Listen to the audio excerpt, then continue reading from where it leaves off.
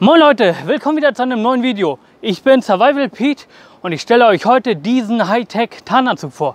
Ihr könnt damit nicht nur einen Rückwärtssalto machen, sondern ihr könnt damit auch noch euch mit der Umgebung tarnen.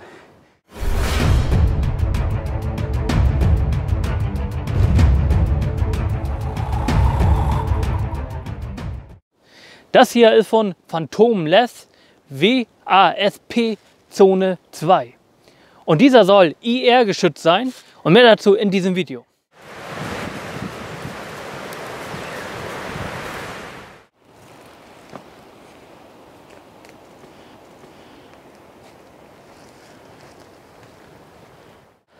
So, wenn ich mich jetzt halt nicht bewege, dann sollten die Klamotten eigentlich schon richtig gut mit der Umgebung verschwimmen.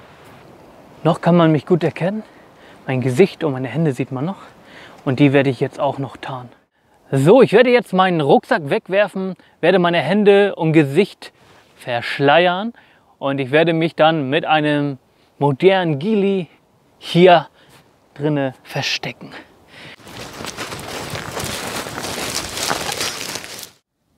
So, mich kann man wahrscheinlich auch gut sehen, weil ich hier im offenen Feld rumliege. So, nächster Test.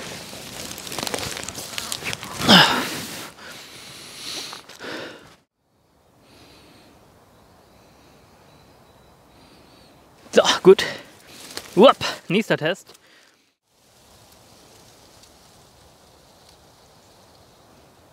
So, dann komme ich mal einfach hier vorne vor.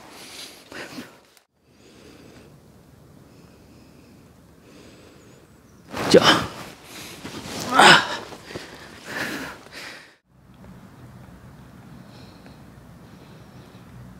So, ich komme jetzt mal hoch.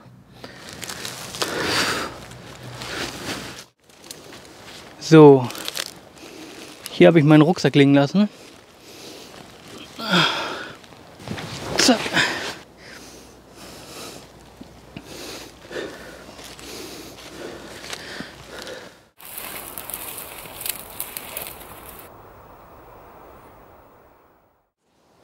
Ja, ich verlinke euch alles nochmal unten im Video, falls ihr euch dafür interessiert. Also, es gibt einmal hier diese Feldbluse. Die hat hier vorne Klett, das heißt, man kann hier leichter Handschuhe an- oder ausziehen. Und auch hier besteht das einfach nur aus Klett. Ja, hier spart man sich die Knöpfe. Das hat hier oben so eine zwei große Taschen. Einmal links und einmal rechts, sodass man hier auch äh, Kartenmaterial oder Ausrüstung reinstecken kann. Ja, und dann gibt es hier einmal so eine Platte, die kann man komplett abziehen. Falls derjenige Patches hat oder so, ja, kann man das hier austauschen und hier seine eigenen Patches draufkleben. Auch hier wieder von beiden Seiten. Ja, und wer möchte, kann natürlich auch hier oben ne, irgendwelche Dienstgrade raufkleben. Raufkleben, sage ich schon wieder. Reinstecken. ja, die Hose, die finde ich immer sehr interessant. Ähm, die hat hier diese dicken Knöpfe. Das ist die KSK-Hose. Ja, und hier die Taschen wie bei allen anderen KSK-Hosen, kannst du halt hier mit dem Band festzurren. Ja, jetzt schlappert es. Habe ich hier hinten einmal so eine Schlaufe. Ziehe ich einmal hier unten lang. Man sieht es hier dann auch. Und dann wird sie fest und liegt eng am Bein und schlappert nicht mehr so doll rum. Falls man jetzt über Hindernisse oder so muss, ganz praktisch.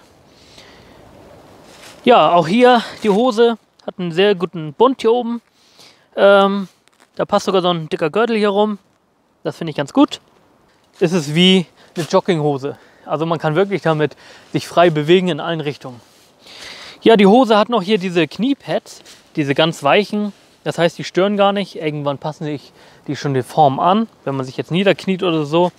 Und ganz unten haben wir nochmal Schnüre, womit wir das dann halt alles zuschnüren können, sodass die Insekten halt oder die, ähm, ja, die Zecken nicht unten ja, reinkrabbeln. So, es gibt natürlich auch ähm, Rucksackhüllen, womit man halt seinen Rucksack ein bisschen verschleiern kann. Diese Blätter hier, die muss man einzeln dazu kaufen und die kann man dann hier überall so ein bisschen reinflechten. Ja, und schon gibt es hier eine bessere Struktur. Die Jacke, die finde ich richtig gut, weil die hat hier drinne diese Zurgurte. Heißt es Zurgurte? diese Gurte halt, womit man die Jacke schön an der Hüfte eng anschließen kann. Ja, dann hat sie noch hier Innentaschen, die man aufmachen kann. Ich empfehle die nicht aufzumachen, weil die kriegt man immer sehr schlecht wieder zu. Ja, dann hat man hier noch unter dem Arm so unter dem Arm kann man auch noch mal hier aufmachen, komplett hier runter. Das heißt, für die zusätzliche Belüftung, falls man im Sommer Sport machen will, sehr, sehr praktisch. Dann kann man die Jacke anlassen. Ähm, was ich auch gut finde, ist hier in der Kapuze in der Kapuze haben wir so einen Metallbügel drin und der lässt sich ganz einfach in irgendeine Form bringen. Machen wir mal so hier. Habe ich ihn bis jetzt aber noch nicht gebraucht. Aber schön, dass man sowas machen kann. Und auch hier finde ich das richtig gut, dass es halt hier diese großen Knöpfe gibt, die man so zumachen kann. Das ähm, ist sehr praktisch, wenn man keine Lust hat, jedes Mal immer den Reißverschluss auf- oder zuzumachen. Ja, und wenn ich dann doch mal auf Klo muss und das hier unten alles viel zu eng ist, dann gibt es eine Möglichkeit, man kann auch hier den Reißverschluss von unten nach oben aufmachen. Die ganzen Klamotten, die bestehen aus Ripstop. Das heißt, wenn man irgendwo im Gebüsch hängen bleibt, an Dorn oder so, dann reißt es halt nur an der kleinen Stelle auf und man könnte es im Notfall halt wieder flicken. Das ist auch richtig gut. Ja, die Hose fühlt sich an wie eine Jogginghose. Du kannst halt in allen Richtungen damit umgehen. Hast halt große Taschen, kannst alles Mögliche verpacken. Ähm, das Hemd lässt sich leicht öffnen oder schließen. Ist auch sehr dünn, also im Sommerbereich richtig gut. Und die Jacke, die kannst du halt unterschiedlich verstellen, hat auch hier viele große Taschen und das Gute halt auch diese großen Knöpfe, dass man halt nur die zu machen kann. Für den Winterbereich würde ich trotzdem immer noch hier diese Bundeswehr ähm, Kälteschutzjacke drunter ziehen. Da solltet ihr darauf aufpassen, welche Größe ihr von der Jacke kauft, weil die fällt ein bisschen kleiner aus, also enger. Einer, der ein bisschen pummeliger ist, der würde schon Probleme irgendwann haben, dort reinzukommen. Also, ich bin ja auch ein bisschen pummelig und passt gerade so. Also, ja. Ja, was bringt ein Tarnanzug, wenn man ihn nicht richtig verschleiern kann? Also, wenn man die Kontur nicht richtig äh, brechen kann. Deswegen habe ich mir noch hier so einen Überwurf-Poncho geholt. Und äh, die Blätter hier, die muss man leider einzeln kaufen. Den gibt es ohne die Blätter. Das finde ich sehr schade. Aber so kann man wenigstens auch hier in den ganzen Schlaufen, die hier vorhanden sind, Naturmaterialien reinstecken. Ich habe hier jetzt nur diese Kunstblätter drin, weil die halt sehr leicht sind. Auch hier das ganze Teil ist sehr leicht. So, und da ich jetzt so viele Blätter hier oben raufgepackt habe, werden hier natürlich auch die Konturen ganz gut gebrochen. Und so kann man sich dann überall hinlegen. Wie schon gesagt, hier kann man noch viel, viel mehr reinstecken. Hier sieht man das auch. Überall sind hier diese Schlaufen aber trotzdem sind noch lange nicht die Hände und das Gesicht getarnt. Ja, leider muss man hier alles einzeln kaufen. Das gibt es leider nicht als komplettes Paket. Ähm, ja, finde ich schade. Das heißt, wenn ich so einen Poncho hier nicht habe, den ich überwerfen kann, dann reicht das auch vollkommen aus, dass ich halt so eine Gesichtsmaske habe.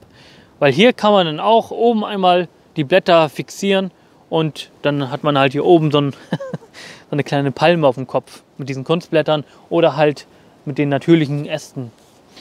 So, jetzt sehe ich schon ein bisschen kriminell aus, aber so kann man sich halt besser tarnen und dann verstecken. Und jetzt kann man auch hier von dem Poncho einfach die Mütze rüberwerfen und dann kann ich mich jetzt so durch die Gegend bewegen. Aber nein, es fehlen immer noch die Handschuhe. So, für Handschuhe gibt es hier extra so eine äh, Gamaschen, könnte man sagen. Gamaschen für Handschuhe. So, hier wird der Mittelfinger dran befestigt. Das heißt, man braucht selber Handschuhe. Ich habe jetzt hier meine BW-Handschuhe. Den Mittelfinger einmal durch das Gummiband steckt. Dann braucht man das immer einzeln nicht wieder ran und abmachen, sondern man kann einfach den ganzen Handschuh so abziehen und das hält von alleine da dran. Das heißt, diese Tarnung bleibt einfach. Das ist schon mal sehr gut. Ist so simpel, aber so einfach und man kann einfach wieder reinschlüpfen. Schon mal dafür Daumen hoch. Jetzt könnte man denken, wir wären fertig, aber nein. Man kann noch die Schuhe tarnen. Das hätte ich nicht gedacht, aber es gibt dafür auch noch was. man kann hier so eine Schuhbeutel holen und das ist ganz einfach. Man steckt einfach den Fuß rein und fertig. Man verschleiert somit einfach die Fußform. cool, oder? So. Sieht aus wie Mammutfüße. ja. Oder man benutzt sie auch für ähm, kleine Taschen, die man abdecken kann. Wenn man einen großen Rucksack hat und man will noch was an die Seite packen, durch Molleschlaufen. Dann kann man auch hier diese Taschen, die man daran befestigt, halt mit diesen Schuhdingern abdecken. Oder man werft hier einfach irgendwas rein, verbindet hier diese kleinen Ösen miteinander und dann hat man eine Tasche. Also multitasking-fähig, diese kleinen Beutel. Soweit erstmal von mir und meiner neuen Ausrüstung. Ich hoffe, sie gefällt euch. Also mir gefällt sie. Und ja, greift zu, solange der Vorrat reicht. Denn meine Tarnklamotten, die ich vom Pinewood habe, die existieren nicht mehr auf dem Markt. Und wer weiß, vielleicht existieren die hier auch bald nicht mehr. So Leute, wir sehen uns im nächsten Video. Da stelle ich diesen neuen Kampfstock vor. Den kann man auseinanderschrauben. Und ich bin sehr beeindruckt von dem. Bleibt auf jeden Fall nächstes Mal wieder dran. Ich habe noch einen Lieblingskampfstock. Bis dann.